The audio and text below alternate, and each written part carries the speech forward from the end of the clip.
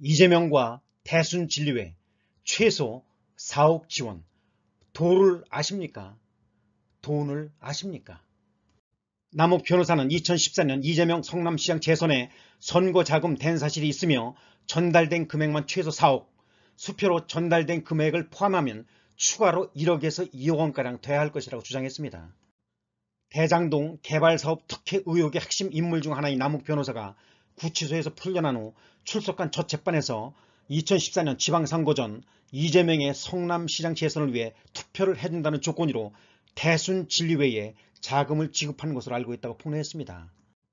그러면서 남 변호사는 이모 씨라는 분으로부터 자금을 빌려 이재명의 성남시장 재선에 선거 자금을 댄 사실이 있다며 김만배 씨로부터 전달받은 1억 8천만 원 중 일부를 대순 진리회에 지급했다고 설명했습니다.